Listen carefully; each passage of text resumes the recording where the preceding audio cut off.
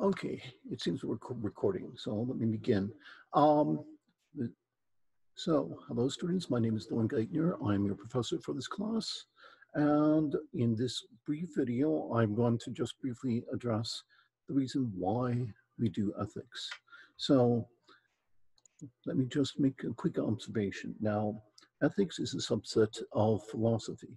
And there are, are probably as many definitions as, of philosophy as there are philosophers.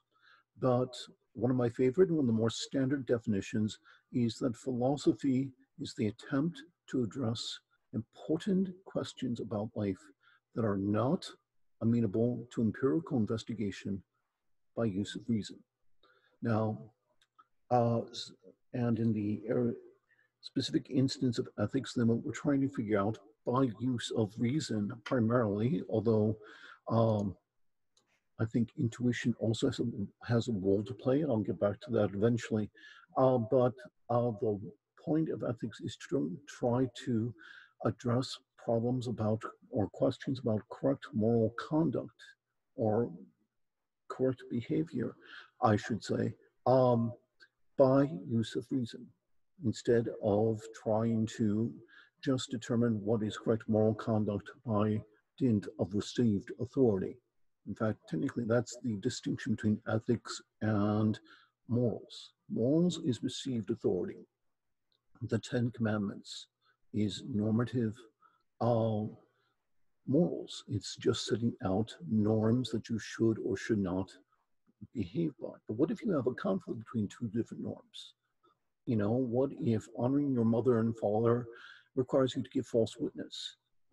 Is it moral to perjure yourself and then stand to protect your parents, for example?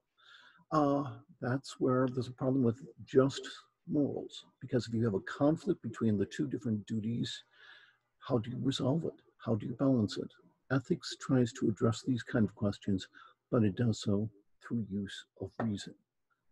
Also, as I mentioned, a little bit of intuition as well, but mostly reason.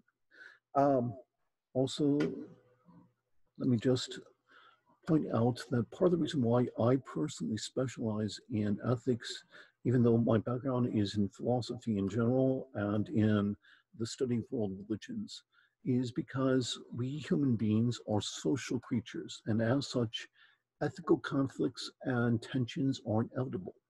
Because we're social creatures, we're always, we, each of us have wills of our own, our own values, our own priorities, and sometimes they come in conflict. Um, that would not be the case if we were truly solitary creatures. Now, ethical issues arise all the time, not just in the dusty pages of ethics theoreticians, but also in current affairs, and which we will be addressing in the course of the class. And moreover, in our popular entertainment, in the political sphere, and in our personal lives. And since we're all of us doing ethics all the time, although are we doing it consciously or at a subconscious or an emotive level? Much of ethics as a school of philosophy is theoretical, and we will be giving you some background on the theory of ethics in this class.